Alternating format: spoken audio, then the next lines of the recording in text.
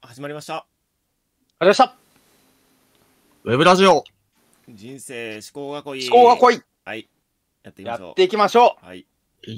えー司会は家のそばにコンビニがあってヤンマガをヤンマガを読むときは、えーでもデイズで読みます。デイズの方が安いので荒牧ですえー、中野家は2日前ほどにこたつが今に作られました。中野です。こんなに勃起が悲しいだなんて、なるほどね。あらくでお嬢様を無している感想。を、はい。ピエール哲学が、はい。いや悲しくないでしょ。行きましょう。ん、う。いやーもう、悲しい、悲しい、い。ろんな思いの詰まった。やいろんな思いが詰まってるけど 俺は希望だと思いましたよあれは。あの勃起は、うん、希望が詰まってるいや、でそれはねでも、ことじゃなくんって思っ、たキリツ正しくんの気持ちからすると、もう、すごい気持ちなわけじゃないですか。キリツくんと思って、すごい。いやなんかすでもさその悲しかったりさ、まあ、その希望だったりと思ったんだけど、うん。なんかカメレオンみたいな勃起のあれだなって思って描写だなって思ってね。ちょっとそこはなんか懐かしい気持ちになってしまった。うん。うん。確かに。ということでね皆さはい。んアラモンを見てくださいということでね。あの、もうそうですね。今すごいいい。まあ先読みしたら。も、ねいるかもしれませんが、ね。俺も先読みしてるから。うん。先読みその次もいいから。先のね、いいですね。いいとこで終わる先読みネタバレやめてくださいね、うん、そう。俺は先読みしてないんでちょっと。はい。ということで。はい、えっ、と告知がねまず最初に忘れないうちに言っておこうと思うんですけれど、うん。えっ、とまあまずは前々から言ってますけど来月、えーもう来月だよね。来月の10何日でしたっけ？コミティアは。17? 17ですかね。17日がコミティア。その前日の16日が人生思考学校リアルイベントがあると、はい。うん。うん。朝がやロフトでね夜の部でやるので皆さん、はい。ぜひ来てねということで。で、はいまあ来てねも何もまだチケット売ってねえだろうというね感じだと思うんですけどチケットもね、もちろん売りますということでえーそういう発表などねいろいろもろもろをはい。皆さんに直接お伝えするイベントといえば何ですか、なんだ？手塚さん何ですか？えー？ステートオブプレイ。違う違う違う ジャンプもね最近やっとる。ダイレクトですね。やっとる。うん。おダイレクト。ダイレクトですね直接、ちょっと面白かったな、今。うん。ステートオブプレイ。でもじ、次、人志子ステートオブプレイもいいかもしれないですね。また小道具をねうん。サウンドで俺見てないからな、あるあるがわかんねえな、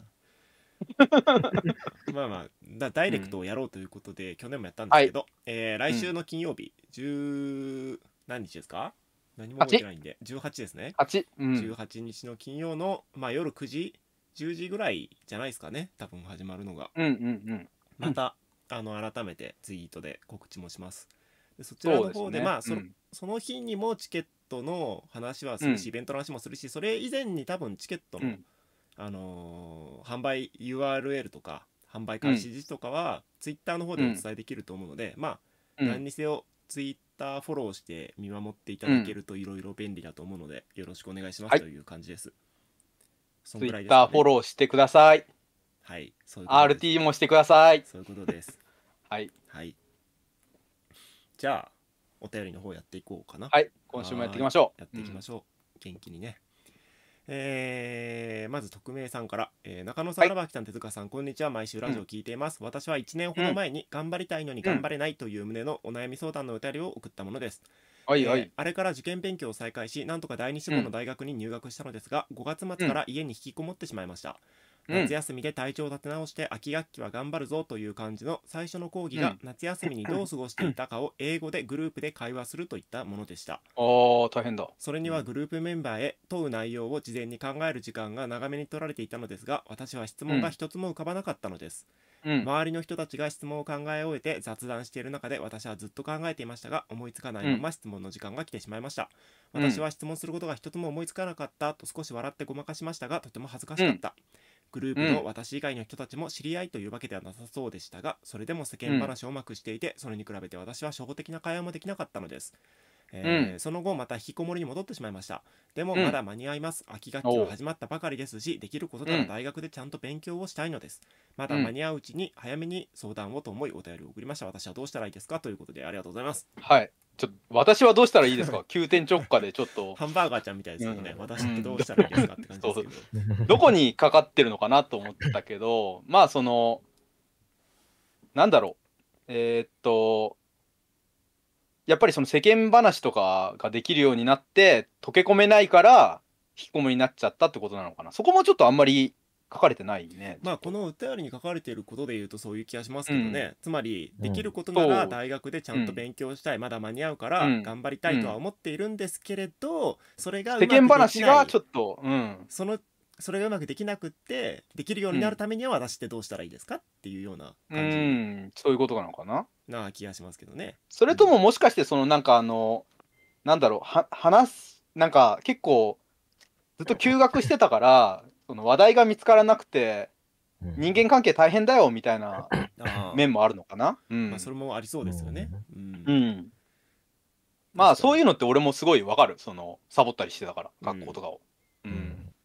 まあでも、うん。わかんないですけどそのう俺はん。行ってたのがその 漫画の大学だったんで、うん。そのちょっと普通の大学とは違うと思うんですよね。そのゼミ的なものに属してうん。いろいろみんなでグループでやるとかっていう授業はほとんどなかったから、うん。そのなんなら友達一人もいなくったって何とでもなるじゃんっていう感じだったんですよ、俺の大学生活って、うん。でも一般的な大学がそうかどうかはよくわからないからちょっとそこはうん。わからない、うん。手塚さんどうですか？この人付き合いってやっぱ大事ですか？大学通うにあたって。ああ、どうですかね。まあ、どういう、なんか、うん。体制でやってるのかっていうのも、まあ確かに。だったらどうなのかな。うん入学したばっかだから1年生でしょうね多分。うん。そうですね。だからですけど、まあなんか、これを見て思うのは、なんか、あの、コミュニケーションになんか正解があると思いすぎているのではないかっていううん。ああそれはそうかも。うん。感じがあって、うん。だから失敗したと思っちゃってるかもしれないですけど、うん。まあ、思いつかなかったっていうのは、まあ、うん。それはそれで面白いことですよ。あの、うん。他の人からしてみれば、思いつかないんだ、この人っていう感じだから。うんっていうのがあって、まあ、コミュニケーションはいっぱい失敗していくことに慣れていくところから始めていくのがいいんじゃないかなっていう気がしてて、うん。僕もなんか、なんかね、8年ぐらい前にね、あの、寺澤大輔先生にサインをもらいに行くときに、かなり気持ちの悪いムーブをしてしまい、そうですね。すごいファンなんだけど、めちゃくちゃ気持ちの悪いことをしてしまった過なとでもどこ。かでね語られてたとは思うんですけど。で、でかまあ結構引きずってはいたんですよ。うん。なんかすごい、もう多分人生で一回しか多分話す機会、サインもらう機会はないだろうと思ったのに、あんな 感じで接してしまったって思って、ずっと引きずってたんですけど、まあその後なんかね、あの仲良くしてもらえるようになって、コミュニケーションを取るようになってくると、その中でやらかしもあるんですけど、まあ、あの、回を重ねてきたことによって、一回一回の失敗はね、薄まってきた。まあまあまあ、あっそうですね。たけど、うん。そのメスなんかその1回しかなかったから失敗したなっていうのはすごい強かったですけど、何回も話をしてると、なんかその辺もなんか面白かったことになっていったりすうるんで、ん。うん。まあ俺、うん。うん。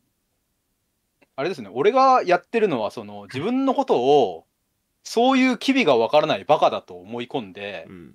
そういうなんかいやー失敗しているのに俺は気づかないんですわなって思いながらそのなんかあれをやったりそのコミュニケーションやったりするとか結構俺はよくやったりするんですけど、うんこういうところで傷つ傷つかないんですわ。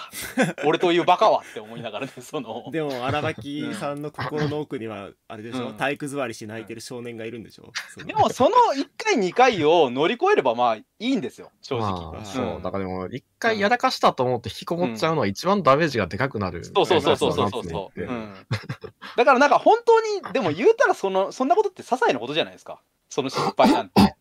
だからそのあのなんか自分の心の奥でその荒牧君は泣いているみたいな感じなのうも、ん。喉元過ぎたらもう消え去っていくから本当にしょうもない話なので、うん。だからやっぱ気づかないふりをするというかなんかペルソナを作るみたいなのがやっぱり強いかなっていうそのう、ん。うん、健やか自分を健やかだと思い込むみたいな、うん。うん、そうですね。そうそう。ううんん結構勇気出さないと人に話しかけることなんてできないじゃないですか。そうですね。いやーそうですよ。実うん。際雑談とかね、やっぱできないですよ。僕もなか俺なかもできないもん。だって、知らない人に。まあでもあれですよ、うん。何美味しいもの食べましたかって聞けばいいんですよ、まあ確かに。ううん。ん。そうしましょう。何も思いつかなかったらうん。今度から、食い物の話しましょう。定型、うん。定型君を使えばね、そう。まあ天気の話天気がいいよね最近天気いいとかですよねとか。うんうん。そう。なんかそういうのでいいと思う。なんかまああとまあ本当にそれだけでいいんじゃないかって俺は思うんですけどなんかうん。あとなんかなんだろうな。やっぱ会話の引き出しを増やすのって結局自分の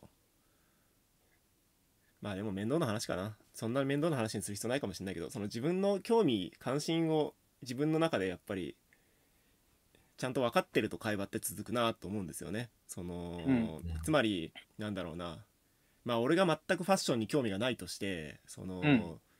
その服どこで買ったんですかとか聞いてもさ、で向こうが何か言ってくれてもそれに対して返せないわけじゃないですかまた。そうなんだよね。俺がそうんんなことに興味なかったら。だから結局自はあ分の興味のあることしか話せないんですよ。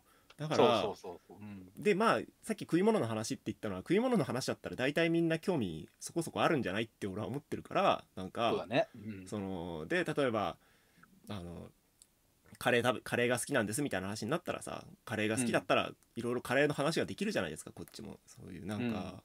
そうキャッチボールするにもこっちが喋れることじゃないとキャッチボールできないからなんかいやそうなんだよね。ううん。んオタクは自分のことばっか話すみたいなこと言うけどそれって結構大事だなと思うというかね、そうですよ、うん。あのキャッチボールの2投目3投目を考えたうん。喋りだとやっぱ自分の関係あることしか喋れなくなるというか。うん自分の関係あることだと自分うん。なんだろうな、うまく話せるんですよ。例えば、うん。好きな漫画、俺は漫画の話だったら多分できますけどうん。オタクくんだから。でもうん。あの何最近なんか好きな漫画ありますって聞いて向こうが何とかって言ってくれたら、うん。そあのなんだろうなああその作者さんって前にもこういうのも書いててとかなんだろうまあなんかいろんな、うん。なんだろうな接待もできるんですよ、うん。詳しいことだったら。そうだね接待的なうんコミュニケーションもできるんですよ、うん。なんか別に詳しいことだったら俺ばっかりが喋っちゃうことにはならない、うんうんうん。そこはまた別のテクニックの話だと思うから。うん。だからなんか、まあ、うん。自分が好きなこと、自分が話しやすいなってこととかがあると話っうんうんてしやすいのかなとかは一つ思いますけどね、人と話すのって。まあ、あとはなんかあれかなその教えてもらう立場に自分をそうですね。あれ全然それするとかねも全然ありですね。うん。うん。うん。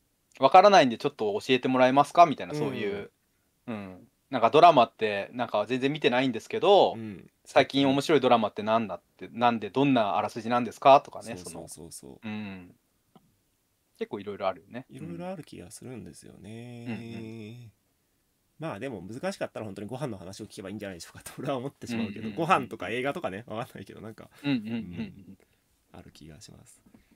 そんなとこでしょうか。じゃあ次のお便り行こうかねうんはい、はい。えー頑張って、うん そうですね。頑張ってください。どうしたらいいでしょうかというと、うん大学に頑張っていきたいという気持ちがあるならね、行けばいいと思いますという感じです。やっぱポジティブな感じがさ結構端々から見えてねそこはすごいいいなっていうかそうですねまだまだいけるぜって感じがさあったからそうですね。いいねって思っちゃった、うん。じゃあ次のお便りに行こうと思います。えー人種の皆さんこんにちは。しこのは匿名希望です。えー先日の鑑賞、うん。あ感情描写の説得力の回とても面白かったです、えーそれに関連して以前から考えていたトークテーマを共有させてください。それはいじめっ子キャラは一生許されてはならないのかです。うん。えー僕のヒーローアカデミアの爆豪くんや声の形の石田くんなどいじめの主犯だったキャラがその後の人生で構成する展開については未だに賛否がありますよねさまざまな反応を見ていると激しい拒否感を持つ人も多いのだなと思います。うん。しかし現実では幼い子供の時のことなんて時が経てば昔ほどのこだわりがなくなる人もそれなりにはいるのではないでしょうか、うんえー時間薬とはその通りだなと思います、いじめっ子キャラは大抵は小中学生だしそんな社会的にも責任能力がないとされる時期に犯した過ちを一生許されないのは厳しすぎないかとも思いますもちろうん被害に遭った人が直接的な加害者に対して一生許さないと思うのは当然ですが、ある意うん。味他者の人間関係である作品鑑賞にまで持ち込むことでしょうか、うん。うん。これは自分の個人の体験として感じていることですうん。ただ自分はひどいいじめを受けていた時期はあったのですが大人になった今は良い,、良い友人たちに恵まれそれなりに毎日楽しく過ごせているので過去のことについてはどうでもいいと思えているだけかもしれません、うん。えーこれはつくづくラッキーなことです。本当に取り返しのつかないレベルで人生が損なわれてしまった人ならこんなのんきなことは言えないのかも、えー難いしいテーマかもしれませんが皆さんはいじめっ子キャラは作中で許されてはならないと考えていますか？またもし許される展開があるとしたらどのような描写であれば多くの読者を納得させられると思いますか？そもそも許されるとは何なのでしょう。何か正解はなくとも皆さんの考えが知りたいです。気質のテーマだったらすいません。ということでありがとうございます。はい。ありがとうございます、これはでもねいやわかるよ。その爆豪くんがなぜ許されないのかって。あバク君って許されないんですか、いやだから爆豪くんが許されながちというかねその、うん。友達にその一生爆豪くん許さない人もいますからねやっぱありなるほど、うん、そうそう。だからうん。そういう別に俺はいやひでえ 爆豪くんひでえやつだなと思うんだけど、うん。これそのさ漫画っていうものまあそのもっと言うと少年漫画ってさその共感みたいなものをベースに物語を作るじゃないですかやっぱり、うん。だからこいつに共感してくださいみたいな動線をめちゃめちゃ作ってそれもまあつまり爆豪くんとかにもさ向かっていくわけなんだけどさ、ね。やっぱりそれって大変だよねそのすごいさ、ま、マジでさワンチャンダイブとか言ってる人に対してさ、うん。その共感その 共感しに行くしにさせられるというかねその、うん。だからなんかその他人事として扱えないっていうのはすごいわかるというかねその。うんうん。これって他人事なのになんで許さないの？君はっていう話をしてるわけじゃないですかこの方は。あそうですね。つまりその、うん。いじめられた当事者、うん。被害者が加害者を許さないっていうならわかるけどうん、物語お前デク君かよっていうね。そうそう。ある意味人誰かうん。他人が他人をいじめてるっていう話なのに、そうそうそう。のいじめに対してそんなにも辛辣に絶対に許さねえっていうのってどうなの、っていうことですよね。そうそうそう。うん。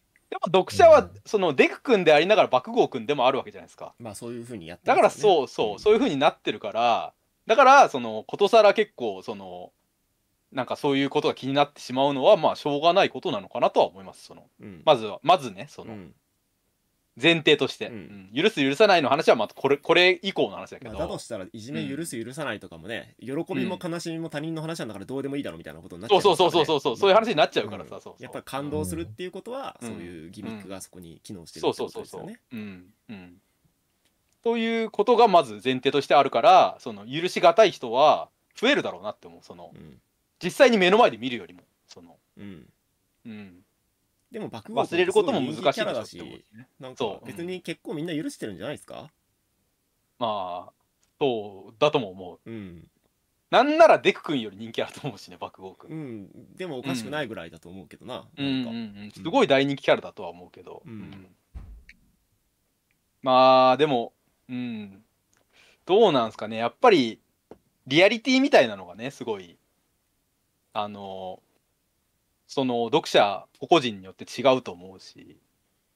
例えばあとはなんだろうその自分のそのなんだろう教示みたいなものでそのいじめみたいなものを許さないような人間になりたいって思ってたらやっぱことさらになんかその反対したくなるという気持ちとかもできたりするのかもしれないですよね。うん、まあ許されてはならないのかっていうと、うん。そういう聞き方をするとなんだろうな、うん。その許されたっていいんじゃないって思うけどね許し。っていうものがさ、そのなんだろう。えー例えば犯罪者がね、うん。社会にもう一回更生して復帰していくうん。こととかもあるわけじゃないですか、まあそういう時に、えーそういう素朴な市民感情としてそいつを許せないっていうことと、うん。その、法律のそういう罪っていうものが、うん。えうん。ー法律上でね裁かれてうんうん。終わったというそうになるっていうのとはまた別の話だよなと思うので、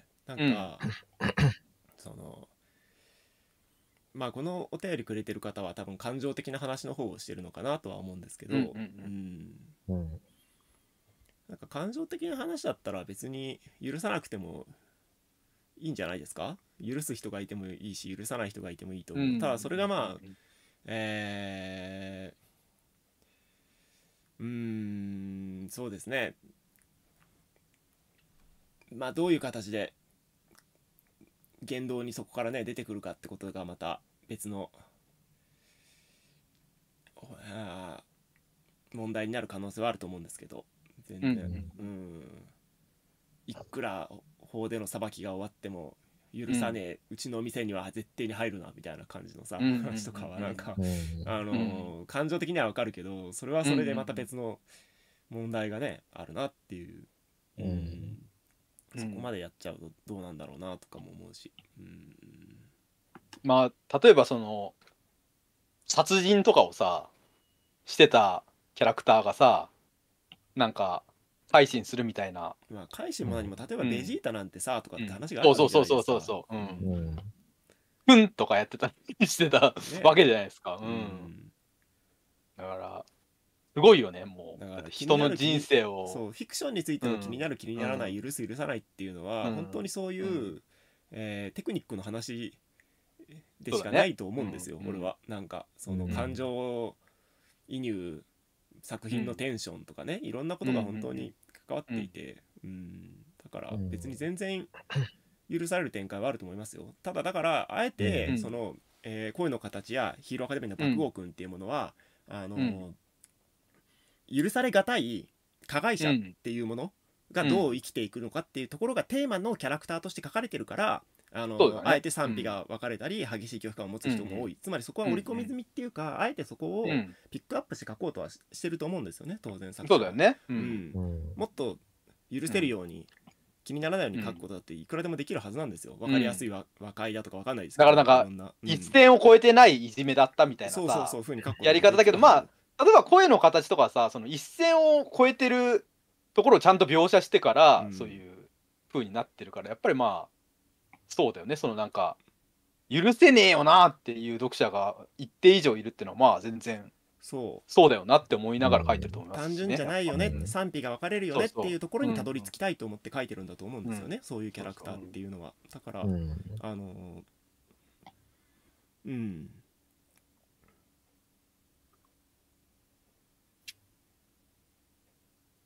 手塚さんどうですか？そうですね。ん。まあ、声の形はそこに結構かなり向き合って書いてたうん。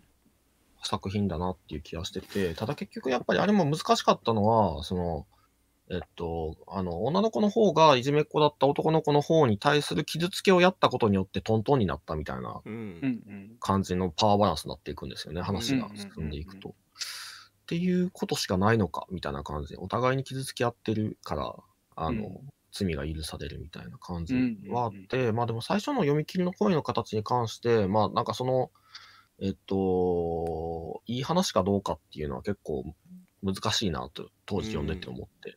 僕はすごいいい話だと思ったんですけど、でもこれをいい話としてしまうことっていいんだろうかっていうのがあるわけですよ。で僕がいいと思ったのは、いじめっ子だった子子が自分がやってたことは悪いことだったと思って謝りに行くっていう話をして、それを女の子も許してくれるからいい話になった。だから謝っていいよね、謝らないよりもあ自分が悪いことに気づいたのっていいよねっていう話はすごくいい話だなって思った。一方で、うん。いじめられっ子側の視点にしてみた場合に、なんか、うん。こいつらいじめっ子側の奴らがいい話にしてやがるみたいな。っそうですよね、うんていうような、なんかその、いじめ、まあまあ、言ったらその、なんすかね、みんないじめっ子じゃなわけじゃないですか。うん。完全ないじめられっ子でしかない人っていうのはいないうん。から、みんなそこそこいじめっ子要素があると思ってて、うん。なんかインターネットで人にコメントしてるなんてほぼほぼいじめですからね。うん。なんか、なんで、そういうのがあったときに、そのいじめっ子たちが、その、いじめられっ子の視点じゃなくて、いじめっ子の行動を良い、良いと言ってるみたいなことの、なんか、持ってるパワーバランス、これをいじめられっ子が読んだときにどう思うんだろうって思ったときにそれを許していいんだろうかっていうのは、なんか、そういう気持ちは存在するんじゃないかなっていうふうに思いますということと、まあ一方で、なんかやっぱ構成する話はあった方がいいとか、その、なんていうんですかね、やらかした側の物語っていうのは、あった方がいいと僕は思ってて、うんで、それが、それがなんか、あの、えっとですね、やっぱどうしてもあんまり気持ちのいい解決はないんですよ。やらかしてしまってるから、すでに。うんうんうんだから、なんか、うん。ですけど、でも、みんなね、その、いじめられっ子がいじめっ子にやり返す話は漫画から学ぶんですけど、自分がいじめられっ子、いじめっ子側になった時を漫画から学ぶことってあんまりできない。そういう話がそんなにない。うん。から、なんかそういうのは僕はあった方がいいと思ってて、そういう話はいくつかあるんです。まあいろいろいっぱいあるんですけど、うん。まあ大体なんかね、あんまエンタメにはならないんですよ。うん。だってまあ苦しい。ずっと苦しい話だから、なんか浪人謙信だってね、なんか、あの、うんかつて人切りだった時のこと。を、に向き合った時に絶対気持ちのいい話にならないわけじゃないですか。そうですねんあれも結局、なんか、その、絵西が言ってることはすごく正当なことで、うん。絵西が、その、薫をなんか、その、うん傷つけようとしたみたいなところがあったから、なんか、うんそういうふうに、そうですね。カウンターみたいなね、その、そうそう。お前もややっとるやんけみたいな感じのね、ね言い返しみたいなのが可能になったっていうだけで。絵西視点からしたら、そのうん、謙信がやったことっていうのは許されないことだし、うん。許されないっていう話をずっとやっていくしかない。で、なんか、っていう話を、なんかその、一発で、一発逆転で許されるっていう話は多分ないんですよね。なんか、うん。ハンターハンターであった、あの、ジンが言ってたことみたいな。うん。自分は絶対になんか約束をしてそれを死ぬ気で守るみたいなものが、うん。その謝る方法だみたいな、うん。仲直りする方法みたいな、その、ことを言ってて、そそいつが生涯そうだったっていう、その、すごい長時間の流れをずっと、うん。こいつはその食いてってその約束を守り続けたんだっていうようなお話じゃないと、なんか、うん。なかなかそういうのがか描けないんじゃないかな、みたいなことを思ったりはします。そうですね。なんかやっぱり罪とか罰とか許しっていうのはいろんなレイヤーがあるよなと思っていてその、まあ社会的なそういう罪と罰と許しみたいな話もあるし、うん。そう法律とかのね、当事者からの罪と罰と許しみたいな話。でさらに自分自身がなお許せるか自分をとか、そういう話もある、うん。うん。うん。なんかそこら辺をね多分でまあ社会的なところはほとんど多分ドラマにおいては問題とされない、それは、うん。あのーほとんど、まあ、罰とか許しってなんだろうな。おまあ俺のか理解だとその例えばうん。刑務所に入って刑をうん。やるっていうのはその、うん。生活習慣とかそういう環境とかをね正して、あの精神の調子を整えるというか、ある意味なんかそういう考える時間を与えるとかね自分と向き合うとか、うん。なんかそういうところの役割が多分強いんじゃないのって思ってるからそのうん。なんだ例えば痛みつければ痛めつければうん。なんだろうな善良になるとかって話ではないわけじゃないですか、機能として多うんうん分そのうんうんだからなんか法律の話はそうだよなっていうのとで社会的な、うん社会的なね話とか当事者からの話とか自分とかの話っていうのはどうすればいいのかは俺もよくわからないし多分一生どうにもならないことだってざらにあるとは思うんですよね。ねうん。うん。そうですね。だから、僕結構すごい、すごいなと思ったのは、クイタンっていう漫画で、うん。クイタン。まあ探偵の、あの、うん。食いしん坊探偵のね、漫画なんですけど、第1話でね、あの、うん。そう、おばあちゃんが、その、うん。人殺すんですよね。ケーキ屋のおばあちゃん。そうなんですよね。うん。で、刑務所に入裁判を受けて罪になって、うん。刑務所入って、出てきて、またケーキ屋を再開するっていうのがあって、そしたらお店がバキの家みたいな感じで、うん。そうそうそうそうそう。めちゃめちゃ落書きされたりしてね、そうそう。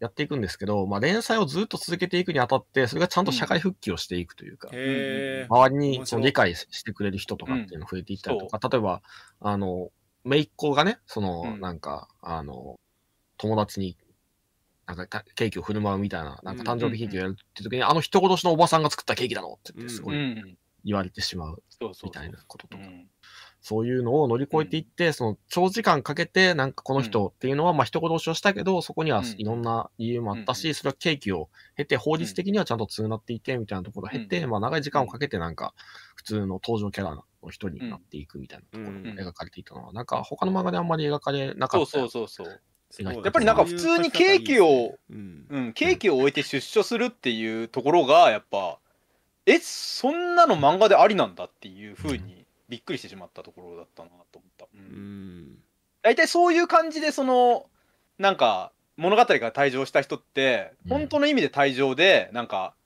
例えばコナンとかで出てこないじゃないですか。そのなんかケーキを置いて私出てまいりましたみたいな感じのキャラクターって、だからなんかああ人生だなって思っちゃってねそういうのを見て、うん。面白いですね。そこかなりびっくりしましたね、ううんん。まあそのそれ以降のねそのまあなんかそのじゅ地域住民にまあいじめられるようなうん。ところとかもね、その描写されてみたいな、うん。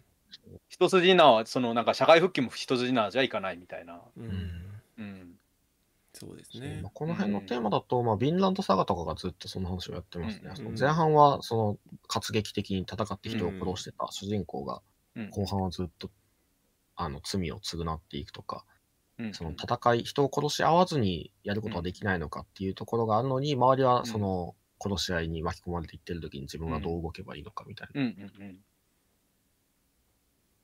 とか、だからやっぱなんかね、その辺のやつは難しいですよ。なんかその、描き方っていうのが、なんかその、誠実にやろうとすればするほどあんまり楽しくない話を長い期間にかけてやらないと多分いけない。そうなんですそのやっぱりうん、そのせそういう場合での説得力の描写って期間になりますからねそのうん。すごい長い期間この話をやっているみたいなのがやっぱその説得力につながってくるから、うん。どうしてもそのエンタメと相性が悪い、うん、っていう感じになっちゃいますからね。しかもまあうん。本当にその命を賭してその償ったみたいなうん。感じとかがまあある程度気持ちいいエンタメのオチかなという気もするけどまあうんうん。それもだからよく見るっちゃよく見るわけじゃないですか。そういう落とし方で本当にすっきりさせていいんだろうか。それすっきりを求めること自体が不誠実なのではみたいな感じにやっぱりなってくるわけじゃないですか。うん。うんねカラクリサーカスとかでもね、なんか人を殺したキャラは基本死んでますからね。ね。みんな。そうそうそうそうそう幸せにならない。うん。幸せに、まあなんかその人たちの人生を全うはするんですけど、ううんなんかみんなその命をかけて死んでいく。そう藤田先生のやつとかまあ俺の好きな特撮とかだと、井上俊樹とかはなんかその結構子供向け番組だからっていうのもあるんですけどまあちょっとなんか悪いことをしてるやつが主人公側にいたとしても大体そういう悪いことをしてたやつはその結構罰っぽく死んでしまうことが多くてみたいな、うん。ずっとやってる人で、うん。まあ、結構そういう感覚っていうのは一般的なのかなって感じしますね。うん。そうですね。うん。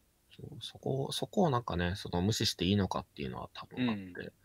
なんか、復讐譚とかね、その、レッド、リビング・オブ・ザ・エッジっていう、あの、村田健二先生のうんやつとかも、その、インディアンの、あの、うん。レッドっていうのが復讐をするっていう話なんですけど、まあ、復讐をしていく過程で自分ももうなんか、あの、加害者になっていくっていう話なんうんですよ。最終的にでももう止まることはできないっていう話になっていって、でも最終的に結局レッドは死んでしまうっていう話。で、なんかそれが生まれ変わって、その、なんか、あの、今度は罪、レッドの生まれ変わりのような少年っていうのが、こういうなんか、人を殺したり殺されたりっていうんじゃないところの世界で生きてるっていうのが描かれて終わるんだけど、やっぱりその、人、復讐という理由があったとはいえ人を殺しまくった人っていうのを幸せにしたエンドっていうのは書けなかっただなっていうのはちょっとその時読んでて思って。基本的にはなんかそのそのさっき手塚さんも言ってましたけどそのネットでのコメントだっていじめ性があるんじゃないか、加害。があるんじゃないかって、全く加害をしていないいじめをしたことがない人ってのはいないんじゃないかっていうのはそうだよなと思っていて、うん。なんかまあ自分でああ言わん言わなくていいこと言っちゃったなとかうかつなこと言って傷つけちゃったなとかっていう経験はまああるわけじゃないですか、そういう後悔みたいなこと、そういう時にじゃあどういうそういう時に反省そのエピソードから自分がどう受け取るかって言ったらやっぱり自分ってうかつでろくでもないやつなんだなっていうことがまあうん。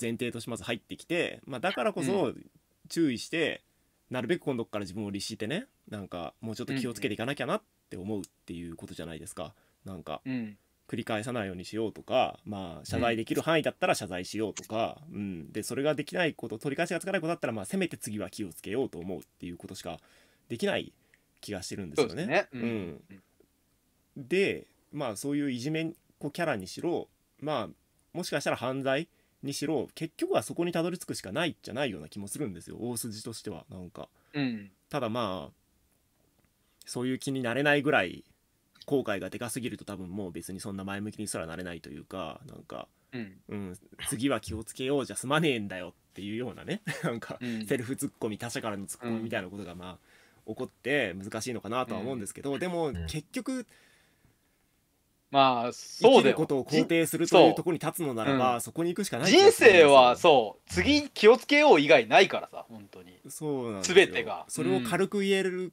かどうかっていうことにはなるんですけど、うん。まあ軽く言っても重く言ってもさ変わんないからさやっぱそのうん。そう。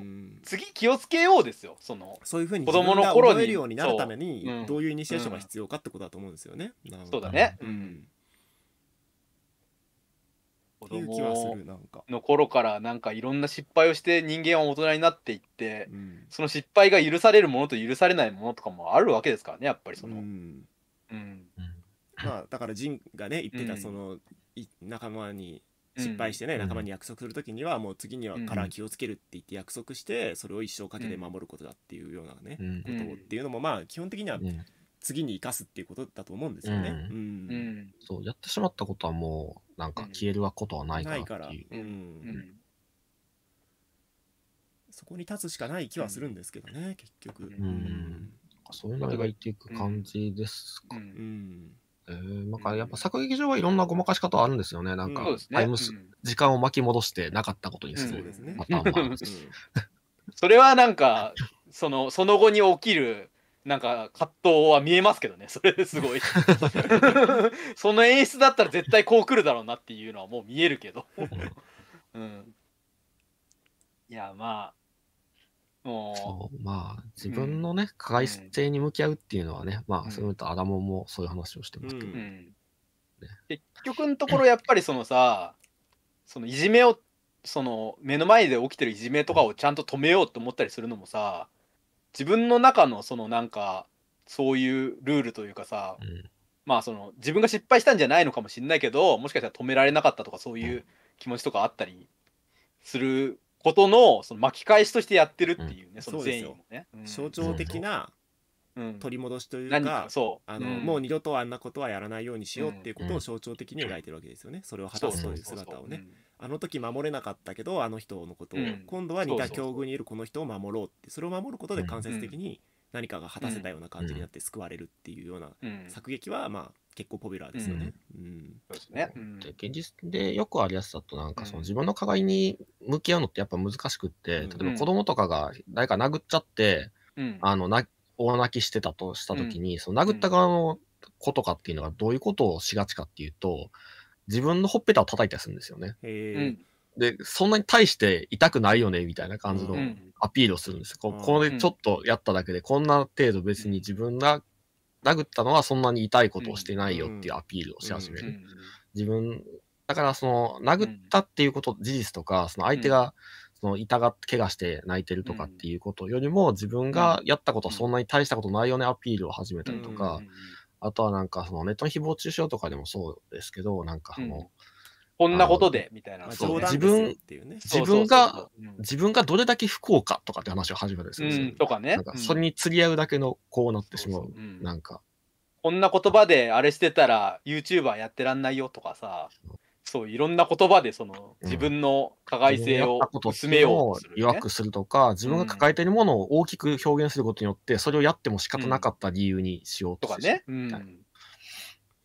ね、だから、なんか、会社をクビになってイライラしていて、みたいなこと言ってるのは、別にその言われた側からすると全然関係ないことじゃないですか。でも、うん。その本人の中では、それを自分がこれだけ不幸なんだから、その相手に対して言ったとしても仕方がないよね、みたいな感じのアピールをするけど、でもそれは言われた側からすると全然そんなこと知ったことじゃない話。うんうんだけど、だからやっぱ自分が人を傷つけたっていう事実から目をそらすんですよね。それがう、んそれをなんか弱くするためのなんか行動をしてしまうっていうのはよくあって、だからやっぱ、そういうのはなんかね、やっぱ物語には必要なんじゃないかなって僕は思うことは多いですね。なんかその自分が人を傷つけてしまった時どうすればいいかっていうあののなんかやり方を教えてくれるようなお話ってーいう,、っていうのがもっとポピュラーにあのカジュアルに書かれるようにならないと、なんかあのみんなその被害者としての動きはできるけど加害者になってしまった時のなんかことっていうのは、うん。うんあの誰も教えてくれないんじゃないかなっていう気が。最近結構ツイッターで広告で流れてきたやつでその、まあ、自分が加害者になった時は言うたらその自分が反省したり自分があれしたりしたらうん。いいんだけど、自分の娘がいじめをやってたみたいな漫画とかがあって、それは本当にどうすればいいんだろうなって思っちゃった。その自分の身になって考えてみて、そうなんですよね。この時にさ俺は何をすればいいのってすごい思っちゃったんだよねその。でその漫画のそのお母さんはかなりその娘に対して冷たい態度を取ってしまうんだよね。その、うん。いじめするなんてクズだろみたいな感じになって、うん。まあそれは一面の正解でもあるんだけどでもその娘の味方になるのも親の役目ではあるわけじゃないですか。そうですね。そう。だからそういう時ってさそのでもまあそれはそうそうだよねみたいなそのそんないじめなんかしちゃダメだよっていうのはそうだうし、ん。うん。これって俺俺が本当にこの立場になった時ってさどう言えばいいのって思ってその本当に許せないことをさ許せないし許されないようなことをうん。自分の大大切な人がしてしまったみたいな状況になった時。う、ん。うん、他人だったらいいですよそれは。例えば友達だったらさうん。なんかある種なんか友達がやったとかだったらなんか「お前やっちゃダメだよ」とかさめっちゃ強いこと言葉言ったりとか逆にそのなんか仲間そのいや俺はお前の味方でいるよっていうこともさできるかもしれないですけどこれって本当に近い場のその人がやっちゃったらなんて言えばいいんだ？どうすればいいんだっていうまあでも叱りつつ、そういう、うん。でも君を見捨てはしないようん的なね、ことうん、は両立する伝え方とかもできるんじゃないかという気はしますけどね。うーん難しいなと思った俺はすごい、うん。うん。やっぱりどっちかに真剣になっちゃうと思うそのうん。天秤が、うん、だからなんかすごい傷つけちゃうことをめちゃめちゃ言ってしまうかうんもう100%その被害者のことを見ないようにして味方になってしまうからどっちかになってしまうんじゃないか俺はって結構思っちゃって。そうですね。そうそう。難しいなこれはって思った、うん。まあでもだから社会があるというかね、親と子供だけで全部を解決しなくてもいいわけですから。そのまあね。叱る役、愛す役というかそのうん。構成を促す役、指導する役っていうことは、いろんなところが手助けしてできるはずなので、ううん。ん。いろんなことがうん機能としてねいろんな人が受け持ってるような気がしますけどね。ううんんという感じですかね俺は、はいうん、じゃあ次のお便りに行きます。もう40分喋ってるからどうしようかな。やめてもいいんだけど。いいよいいよ今日は今日はおまけだ、うん、もう一本行こじゃあまあ早めにねちゃちゃっとう、うん行きましょうか。はい。えーラジオネーム朝5時さんから。えーはい。私は今不安に思っていることがあります。私は一度雑誌に読み切りが載ったことのある程度の漫画描きで、現在は担当さんと新人賞へ向けてのネームを作成しているのですが、1ヶ月以上すごいすごい。1ヶ月以上連絡を取っていません、えーうん。今までは基本打ち合わせは2週間に1度くらいのペースで行っていたのですが今書いているネームに難航して他にも自身の生活への見直しなどでなかなか作業が進んでいないからです、えーうん多分提出する頃には2ヶ月ほど経ってしまうんじゃないかなと思われます、えー私が不安に思っていることは提出が遅れていることで、こいつやる気ねえなもういいかと連絡を絶たれてしまう可能性があるのではということです、えー先ほど2週間に1度くらいのペースで打ち合わせをしていると書きましたがその場合はうん。打ち合わせ時に次の締め切りを決めていました。しかうん。し今回は締め切りを決めずにネームができたら提出をしますという会会話をし締め切りを設定しませんでした、なのでうん。特に約束を破っているというわけではないのです、と言ってもネームを完成させるのに4年かかりました。受け取ってください。と連絡を取ってうん。素直に受け取ってもらえるかというと多分そうじゃないですよね。何事にも限度というものがあると思うので。私は PayPay なのでここら辺の基準が全く分かりません。ネームを提出するまでに2ヶ月を有するのは割と一般的なのかどうかということをお三方に教えてほしいです。ということでありがとうございます。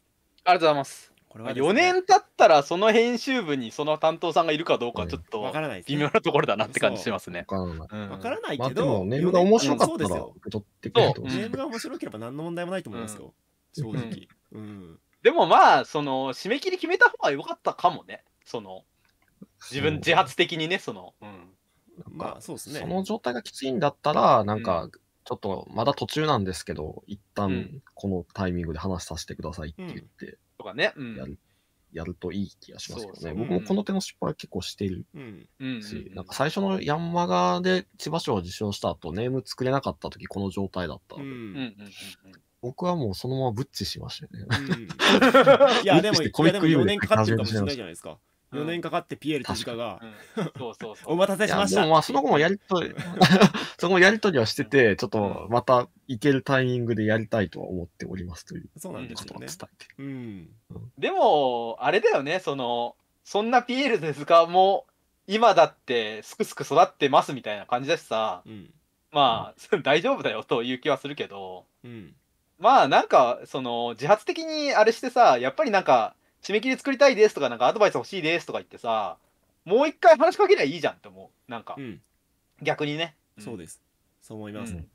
なんかそのゲームなんて、うん、遅れることで、う。んこいつやる気ねえな、もういいかと連絡を絶たれてしまう可能性があるかもっていうことが不安に思ってるらしいんですよね、うん。この方は。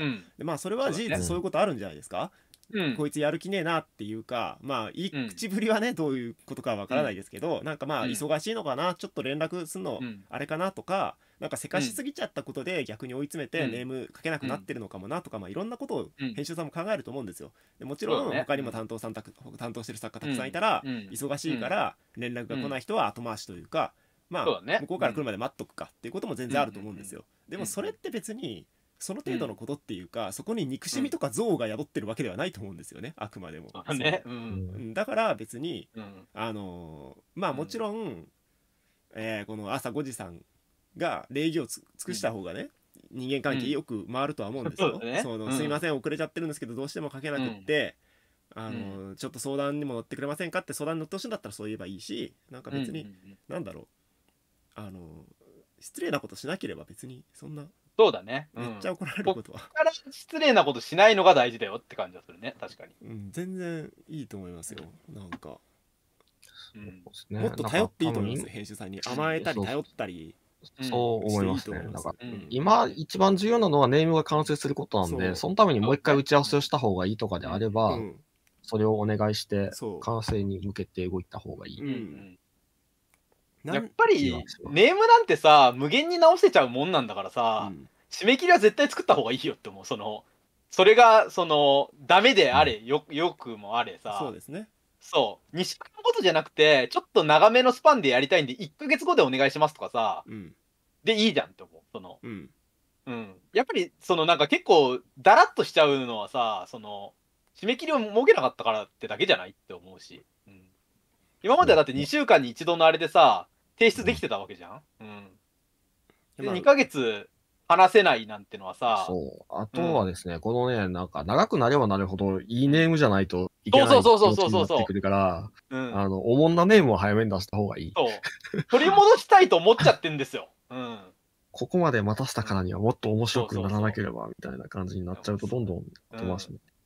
やっぱね長く長く長くさネーム作ったとしてもさその長さを使ってできるネームなんて1.2倍ぐらいですよ言うたら。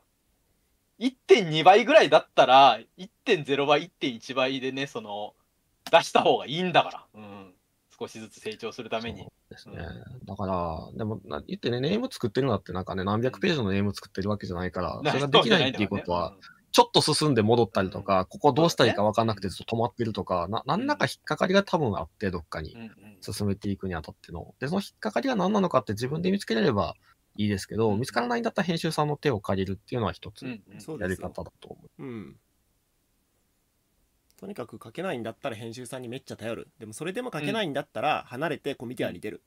これです、うん。うん、そうもう自由に書いてクソ漫画をコミティアに出す、うん、そう、うん。ちょっとクソを出すのに慣れなきゃダメだと思いますよ。それでもダメだったら、うん。えーコミティアとかツイッターでクソ漫画を書きつつ、他の場所に持ち込みに,、に行く。そうだね。うん。もしくは、1ヶ月山登りして、うん気分転換する。いろんな、えー脚本術とか漫画の書き方の本とかも読むうん。みたいな、なんかいろいろそういう並行してややるって感じだと思いますけどね。新人賞に出すっていうのでさ、めっちゃいいの作りてえって思ってんのはわかるけど、そんなすぐめっちゃいいの作れると、担当さんも持ってないんだから、その、今の、そのね、延長線上のね、ネームを提出することがやっぱ一番大事なんじゃないですか。うんいや、でもこんなこと言ってて、この人が出したネームがめちゃくちゃ面白くて、ね。僕らみたいなものの爆速で抜いていって、ばうん100万部とか爆売れするかもしれないわけです。別にそれはそうですよ。それはそう。全然構それはでもうんそれはでも、その、今まで出した2週間に一遍のネームもそれぐらい面白かった可能性ありますからね、その。全う然んいいですよ。その面白さで全然いいと思ってる可能性ありますよ、担当さんだって。ううんん。いや爆速で抜いた後ね、うんうんあの時の人志向のおかげでって言っそうそうそうて来てくださいよ。言ってくれ確かにうん、そう。うん確かに、そう、爆売れしてほしいですね。でそう爆売れしてほしいよ俺むしろ逆にうん爆売れしてくれたら締めたものだよ、本当に。ねうんうん全然そうですよ。だからそのためにはやっぱネームを完成させないといけない。完成させるために何をすればいいのかっていうのをやっていって、それがちょっとなんか、その抵抗になるのが編集さんに向けてちょっと恥ずかしいとかあったら、その恥ずかしいをこう、乗り越える必要があるんであれば、それは乗り越えてほしいうんなって思います。いやなんか本当にいろん、うん。本当にでもあれですよ、うん。編集さんしいろんな編集さんでまたいろんなこと言うの変わったりとかもするしなんか本当にあのいろいろやってみたらいいと思いますよ。うんなんかとにかくもっと編集さんと俺は話していいんじゃないかと思いますね。こいつやる気ねえな、もういいかって転落を断たれてしまうことが不安なんですってことも編集さんに話したっていいじゃんとすら俺は思っている。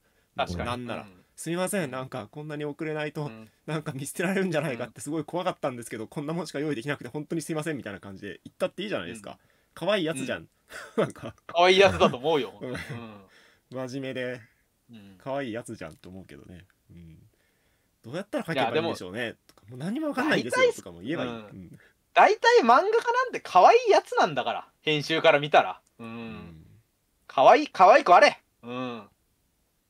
可愛い子ぶれや。うん。ごめんごめん、ペロペロって感じでね。うん。提出してください。編集さんと話して無理だったらコミティア出て、うん。それでも書けなかったらまた別の編集さんと話したりとかねすると本当に繰り返しになりますけど、俺はそれがいいと思いますうん書けない時は、うんまあ、書けないわけじゃないでしょって思うしな、普通に。締め切りあったら書けるでしょって思う。この話を聞いてると。もう。まあ、明確な締め切りを設定しなかったのやっぱね。そうそうそう。そこがやっぱちょっとボタンの掛け違いかなって思っちゃう。うん、まあでもまあそんなこと言ってて僕は今ネーム出しますって出してなかったやつとかあるから 同じ気持ちになってるん締め切りがあっても書けない時は書けない、うん。書けないというそうだからその時にあの原稿連載の原稿あるからとかねそういうことを思ってねそうそうこうごまかしが入るんですよ。締め切り破ってでもも別に無知でぶたれるわけじゃないから、ノーダメってノーダメなんですよね。うん。実はねでも、本当のギリギリの締め切りがあったら、手塚さんはいつもコミティアの原稿をうん。上げられるんですよ。確かに。まあコミティアはこここまでにやんないと本ができない。そうそうそうそとなるとね。う。うん。なんかどんだけ思んなくても良いと思って。そう。本がある方が重要だ。いやー、まあ、頑張ってほしい、売れてほしい、そしてめちゃめちゃアニメ化してほしい。うん。まあそういう感じでしょうか、うん。はい。そここれでじゃ雀荘人生思考がこ声出してください。うん。漫画の端っこに。人志向ね、長いことやってるから、やっぱ人志向聞いて漫画家になりましたという人が、やっぱそろそろたくさん出てきて、そうですよ。我々がそれで美味しい。しい思いをすることも、そういう思いもねできるのではないか。させてくれ、俺たちに美味しい思いを。うん。なんでしょうね。具体的にはなんだろうスポンサーになってくれるとかかな。すごい。全然。い金くれれば全然 PR とかしますよ。漫画の。まあ、確かに。金くれなくても別にね面白ければ面白かったって言うんですけどね、うん。金もらってないからね。そうですね。金もらった朝ことない。霞やロフト A 以外から金もらったことないから。金もらったことないかも、うん。うんじゃあそんなところで、えーはい。繰り返しになりますけど 来週はね人志向ダイレクトやると、やる予定なんでまたツイッターの方とかチェックしてください。よかったら。はい、はい。お疲れ様です、お疲れ様です。えー、お疲れ様です。